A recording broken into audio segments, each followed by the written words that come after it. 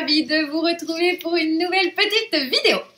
Alors aujourd'hui je vais vous montrer le nuancier des Derwent Graphite Int. Ce sont donc des crayons aquarellables de chez Derwent, donc la même marque euh, qui fait euh, aussi les Intense que vous connaissez déjà à la boutique depuis un petit moment. Et je vais vous montrer avec cette gamme-là de 24 couleurs que vous allez pouvoir réaliser avec une seule, un seul crayon, différentes nuances. Hop, je vais vous les montrer les trois côtés. Voilà, avec un seul crayon, vous allez pouvoir faire ça. Pas mal, hein? Allez, je me mets à la table de scrap et je vous dis à tout de suite Et voilà, je viens vous présenter les beaux crayons Graphite Int aujourd'hui. Donc vous les retrouvez en 24 couleurs avec une super belle palette. Donc on est sur un mélange dans ces crayons euh, d'aquarelle et de graphite. Donc le graphite va donner un côté gris euh, dans toutes les teintes en fait. Allez, c'est parti pour le nuancier. Donc comme d'habitude, je prends mes petits morceaux d'aquarelle que je collerai ensuite sur mon nuancier. Et je vais vous montrer les graphites de deux façons. Parce qu'en fait, en faisant mes essais, j'ai vu qu'on avait quand même des couleurs très très différentes euh, selon la façon dont on les utilise. Donc vous voyez par exemple, ça c'est le même, c'est le, euh, le numéro 1. Et du coup, on a un côté vraiment bordeaux ici et un côté beaucoup plus rouge ici. Donc je vais vous montrer comment on fait ça. Alors, pour la première façon, là j'ai vraiment crayonné je pose mon crayon de couleur, voilà, comme ceci. Ensuite, on va faire l'aquarelle du coup. Donc en mettant de l'eau, donc je mets un petit peu d'eau sur la partie blanche. Et puis ensuite, voilà, je mets mon pinceau comme ça. Donc ça, ça va être la première, euh, la première façon de les utiliser, comme euh, les Intense par exemple, ou les autres crayons euh, aquarellables. Mais vous pouvez aussi prélever l'encre directement sur le crayon. Ça, je vous l'avais déjà aussi montré euh, dans une précédente vidéo. Et là, on va obtenir du coup une couleur qui n'est pas du tout la même en fait. Vous voyez Donc là, je prends vraiment ma couleur directement sur la pointe du crayon. Et on se retrouve là avec une couleur beaucoup plus vive. On voit beaucoup moins cette couleur en fait euh, grise de graphite. Et voilà, on a un joli dégradé. Donc vous voyez, ça, on a vraiment une grosse, grosse différence quand même euh, entre les deux façons de les utiliser, hein, les crayons. Donc, eh ben, je vais vous faire la même chose pour toutes les couleurs.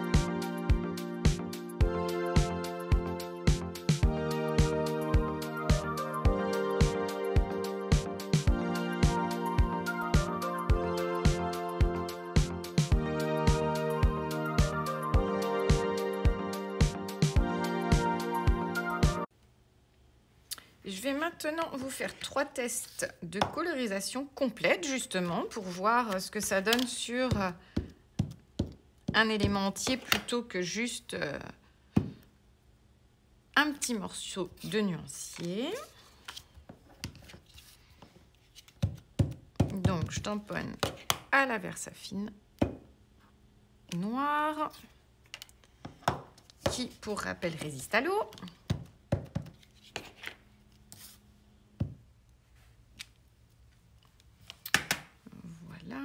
donc celle-ci, la Versafine claire. On va attendre que ça sèche. Et je reviens vers vous pour la colorisation. Alors, pour le premier exemple, je vais donc faire toute ma feuille en passant le crayon de couleur. Je laisse un petit peu de blanc pour faire des dégradés. Voilà. Donc, j'ai pris exprès un crayon justement où on a beaucoup de, de différences hein, pour que vous voyez euh, bien ce que ça donne des deux façons. Voilà, donc là, je vais du coup le mettre en couleur avec mon eau.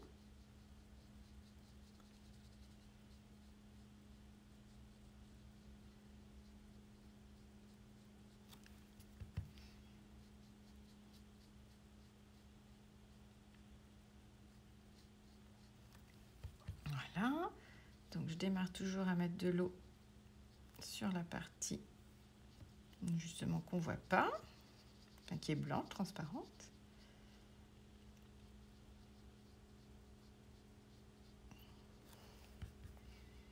Voilà, et je reviens étirer, voilà.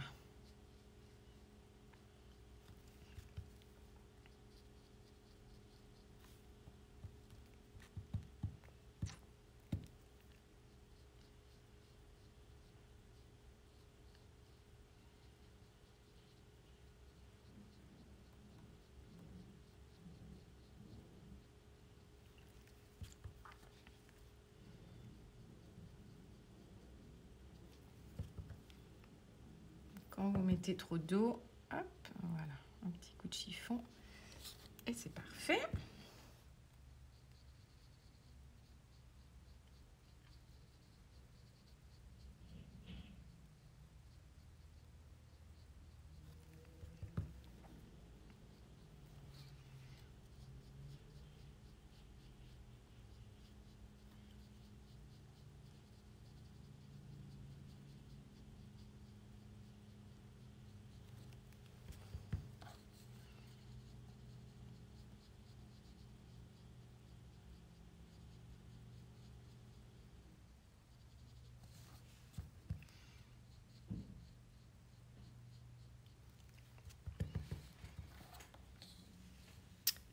Et voilà donc rapidement ce que ça donne.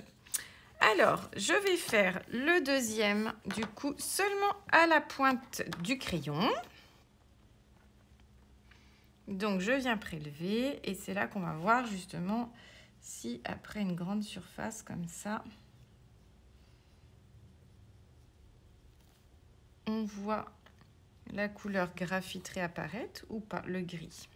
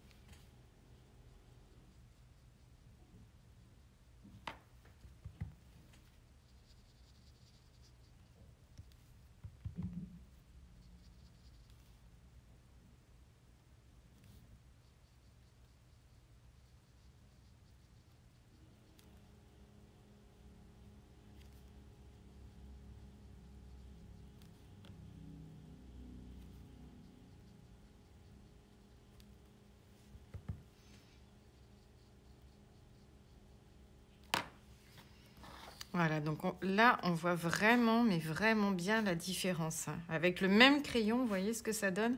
C'est quand même vraiment super, super sympa. Comme c'est de l'aquarelle, hein, vous pouvez revenir, euh, même une fois sec, remettre de l'eau sans aucun problème. Alors surtout, utilisez bien un papier aquarelle hein, qui résiste à l'eau, forcément. Sinon, votre papier va gondoler et euh, l'encre ne va pas fuser comme il faut. Mais voilà le résultat. Et on va tester une troisième façon avec cette nouvelle palette Carandache. Voilà, qui a un côté qui est rugueux et un côté qui est tout lisse. Alors normalement, le côté rugueux, il va être pour utiliser avec euh, justement les crayons aquarelles, les Neocolor 2 par exemple. Et le côté lisse, c'est plus là pour la gouache, la peinture acrylique ou euh, la peinture aquarelle. Donc nous, on va essayer de travailler avec la partie rugueuse. Donc là, ce que je vais faire, hop, voilà, je vais mettre mon crayon sur la palette. Voilà, donc là, on voit qu'il y a justement différentes euh, nuances qui se mettent. On voit bien les nuances vertes et de, pigments. Bon, alors après, il faudra tailler votre crayon, hein parce que là, du coup, ça, forcément, ça abîme un petit peu la pointe, il n'y a pas de souci. Et ensuite, on va venir prélever la peinture. Je vais me mettre juste à côté, voilà, comme ça. Donc, je vais faire mon mélange ici. Et on va voir justement Mais logiquement, on devrait se retrouver avec une couleur entre les deux. Ni avec trop de graphite, ni trop clair.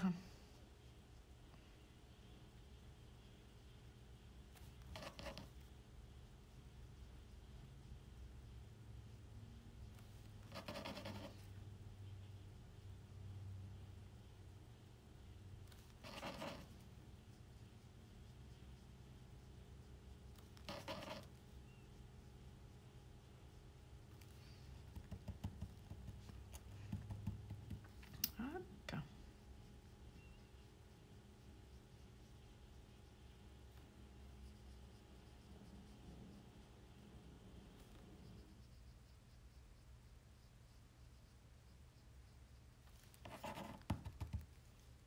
Donc là, pour faire mes petits dégradés, pas du coup.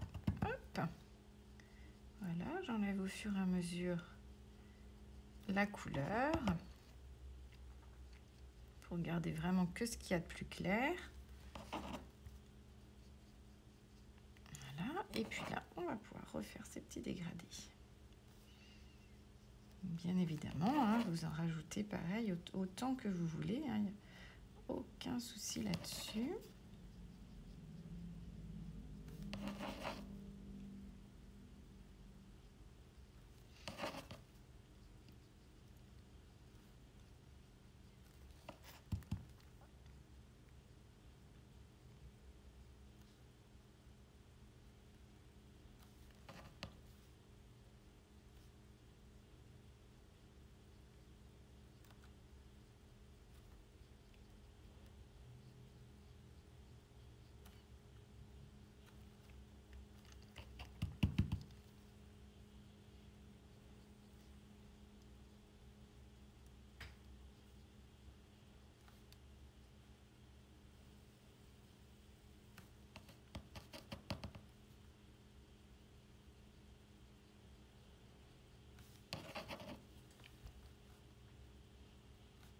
Voilà. Et je rajoute ma couleur la plus pure à chaque fois, plutôt à l'extrémité de mes feuilles.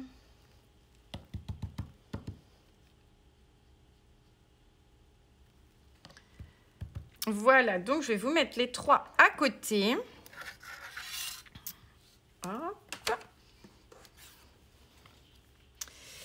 Et voilà ce que ça donne. Alors, on va attendre un petit peu que ça sèche. Euh, mais là, au premier coup d'œil, à droite, on est euh, presque sur un jaune. On est vraiment, euh, c'est vraiment un vert anis, mais très très pâle, qui ressemble vraiment beaucoup plus à du jaune. Hein. Si on ne sait pas que j'ai pris un crayon vert, franchement, on est presque, on pourrait dire que c'est du jaune. Donc ici, on a une couleur plutôt anis. Et puis là, justement, on a la teinte vraiment plus foncée. Voilà donc le plus foncé. la couleur intermédiaire.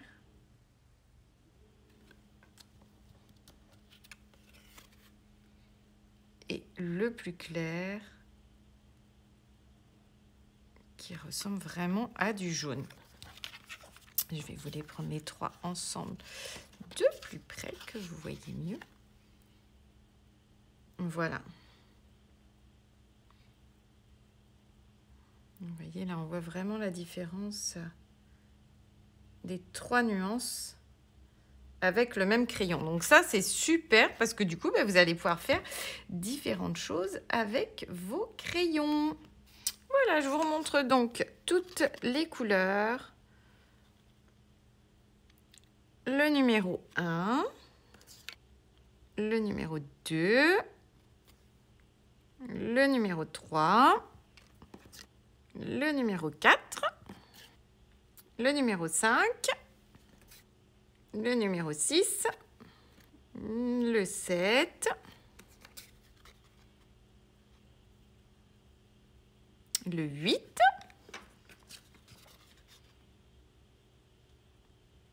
le 9,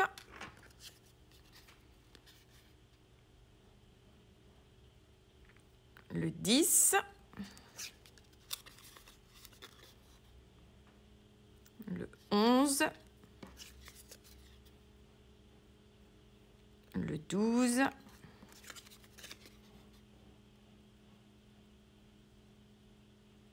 le 13, le 14, le 15,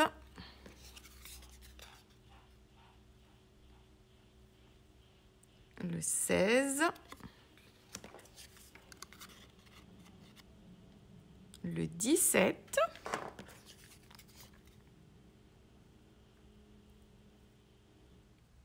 le 18, le 19, le 20, le 21,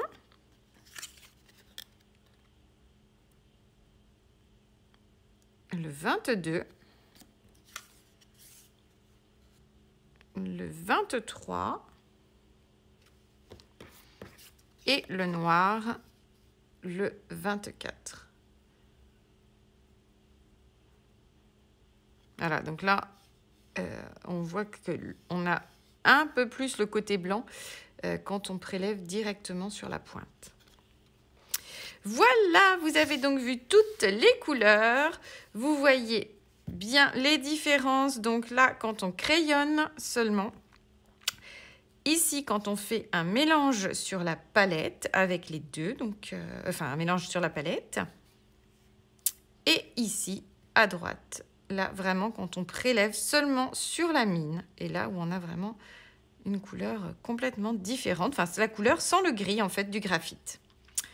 Voilà, voilà, c'est tout pour ces petits crayons d'Airwent. Euh, donc les graphitines qui sont super beaux.